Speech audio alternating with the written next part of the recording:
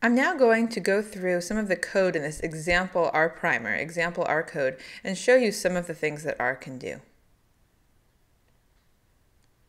The first section here is labeled vectors.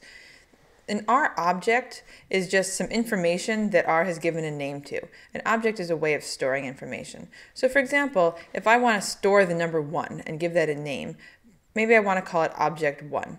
So if I run this line of code by putting my cursor in it and pressing Command Enter because I'm on a Mac, you can see that that line of code has gone over here to the console. What this says is that the word object1, the name object1, now to R, consists of the number 1. And when I type in the name of the object, the value of that object is spit out. Object 1 is equal to 1. This less than sign followed by a hyphen tells you that you're giving something a name. You can ignore this first part, um, the bracket 1. That just is uh, numbering the lines that come out. So if there was a lot of information stored in object 1 and when I sent it to the console it had to be printed out in multiple lines, those lines would be numbered 1, 2, 3, 4. So in the console you can ignore um, the bracket 1 right there. Similarly, maybe I want to store the word 1. So if I highlight this next line of code, and send that to the console, you can see again it ran. And if I type in the name of the object, object 2, you can see object 2 is equal to the word 1. I can also create an object that consists not only of one number or word, but of a sequence of numbers or words. And in R, we call that a vector. The way I create a vector, one way to create a vector, is with this notation C. C is for concatenate. And if I write C parentheses and then a whole bunch of numbers within those parentheses with commas between them, R will concatenate those numbers together. R will concatenate those numbers together into a vector. So what this line of code that I've highlighted does is it concatenates the numbers 1, 2, 3, 4, 5, 10, 11, 12, and gives a name to that vector. Specifically, it names that vector object 3. So here I've run that particular line, and if I go type in object 3, you can see that R knows that object 3 refers to the collection of numbers 1, 2, 3, 4, 5, 10, 11, 12 it can be very helpful to store numbers as vectors, store um, information all together in a vector, because if you think about what data consists of, data consists of sets of numbers, typically. There's a more concise way to create the same vector that I've now called object 3.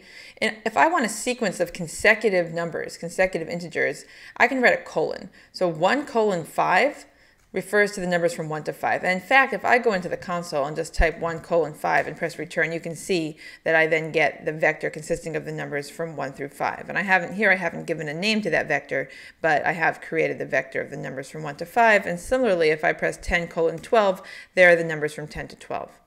So if we look back at the R code, the content of line 21 here, I've concatenated the numbers from 1 to 5 with the numbers from 10 to 12, and I've given that entire sequence of numbers the name object 3.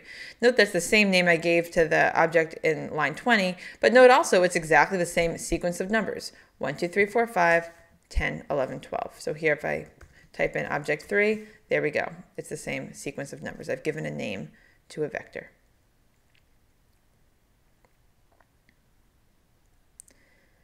So as I've said, once you give a name to an object, you'll know that it worked only because this arrow sign will come out in the console telling you it's ready for more information. But if I want to then find out what I stored under the name object1 or object2 or object3, I can just type in the names of those objects and they print out. Another thing I can do besides printing out the object is find out how big the object is. And if it's a vector, I can specifically find out how many elements are in it, how many numbers, for example, are stored in it. So one way to do that is with the function length. And you see that here on line 34. Length is a function in R, which means it has an input and an output. The input can be any set of objects depending on what the function is. So length, for example, can take as an input a vector, and then the output depends on what the function does. So this particular function length um, will take as an input a vector and spit out, print out the number of elements that are in that vector.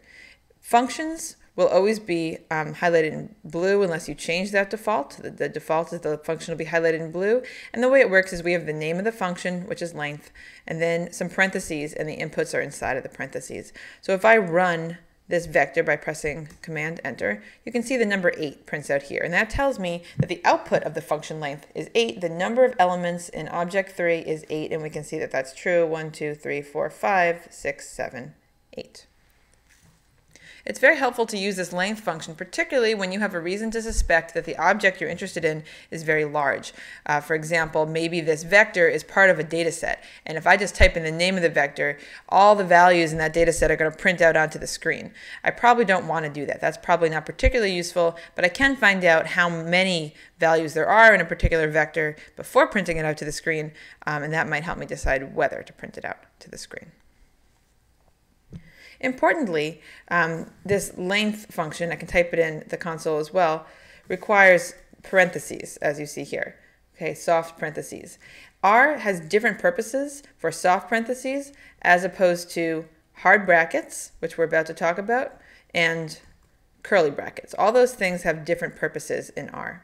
Also, as you can see in the version of R I'm using on this Mac, every time I type in an open parenthesis, an open hard bracket, or an open curly bracket, it automatically also pops up the, um, the close parenthesis bracket or curly bracket.